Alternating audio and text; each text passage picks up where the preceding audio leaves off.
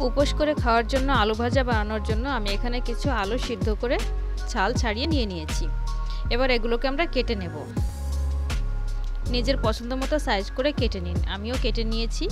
এবার একটা fry pan গরম করে তাতে তেল দিয়ে দেব। হিট মিডিয়ামে চালু রাখব। তেল গরম হয়ে গেলে এখানে আমরা দিয়ে দেব জিরে আর সর্ষে। যদি আপনি উপোস করে জিরে আর সর্ষে না খান তাহলে এটা স্কিপ করে দিন। অনেকে খায়, অনেকে আবার খায় না। তো আপনি যদি না খান তাহলে স্কিপ করে দিন। আর এর সাথে যদি আরও কিছু খান, যেমন টমেটো যদি খান, তাহলে টমেটো দিয়ে দিন এর মধ্যে। আর ধনেপাতাও যদি খান, সেটাও লাস্টে অ্যাড করে দেবেন। তো আজ আমি টমেটো দিচ্ছি না, জিরে আর সর্ষে দিয়ে দেব আর এগুলোকে ভালো করে ফুটতে দেব। ওয়ান ফোর টিস্পুন আমি জিরে দিয়েছি আর হাফ টিস্পুনের থেকে একটু কম সর্ষে দিলাম। এগুলো ভালো করে ফুটে গেলে এর মধ্যে আমি স্বাদ মতো কাঁচা লঙ্কা দিয়ে দেবো। কেটে রেখেছি। আর উপোসের সময় খাওয়ার জন্য একটু ঝাল চটপটা ভালো লাগে খেতে। এই কারণে একটু বেশিই দিচ্ছি। আপনি নিজের পছন্দ মতো দিয়ে নেবেন। কাঁচা লঙ্কাগুলো ভালো করে ভেজে নেব। কারণ আলু তো আমাদের এমনিতে সিদ্ধ আলু, তো তার জন্য আমাদের বেশি সময় লাগবে না। এই কারণে আগে থেকে আমরা কাঁচা লঙ্কাটাকে ভেজে নেব। তারপরে এর মধ্যে এই কেটে রাখা আলুগুলো দিয়ে দেব। ফটাফট রান্না হয়ে যাবে, কারণ আলু সিদ্ধ করে রাখা, একটু নেড়ে চেড়ে এর মধ্যে আমরা লবণ দিয়ে দেবো স্বাদ মতো।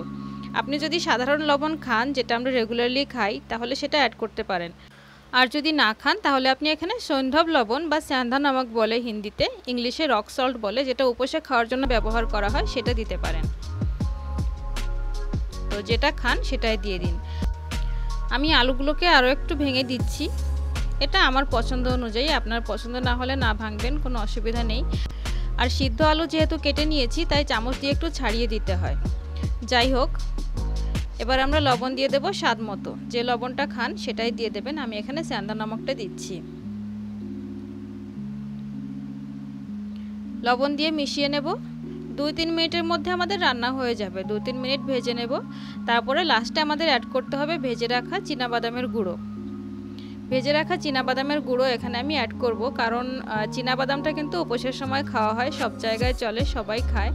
তো আপনিও এটা অবশ্যই অ্যাড করুন। আর এতে কিন্তু সবজির স্বাদটাও অনেক গুণে বেড়ে যায়। তো আমি লবণটা ভালো করে মিশিয়ে নিয়েছি। এবার আমরা দিয়ে দেবো ভেজে রাখা বাদামের গুঁড়ো। নিজের পছন্দ অনুযায়ী কম বেশি করে নেবেন। বাদামকে নর্মালি আমি ভেজে নিয়েছি ড্রাই রোস্ট করে নিয়েছি, আর তারপরে মিক্সিতে আমি একটা আধা ভাঙা পাউডারের মতো বানিয়ে রেখেছি। খুব বেশি মিহি পাউডার বানাবেন না, শুকনো সবজিতে একটু আধা ভাঙা টাইপের পাউডার হলেই ভালো লাগে খেতে। আমি এখানে তিন চামচ পাউডার দিয়ে দিলাম আর ভালো করে মিশিয়ে নেব। আর মিশিয়ে নেওয়ার পরে আর কোনো কাজ নেই। যদি আপনি ধনে পাতা খান, তাহলে ওপর থেকে ধনে পাতা কুচি ছড়িয়ে দিন। আর আমি এখন দিচ্ছি না, তো আমাদের সবজি একেবারে সার্ভ করার জন্য তৈরি হয়ে গেছে। এবার আমরা গ্যাস বন্ধ করে দেব আর সবজিকে সার্ভ করে নেব।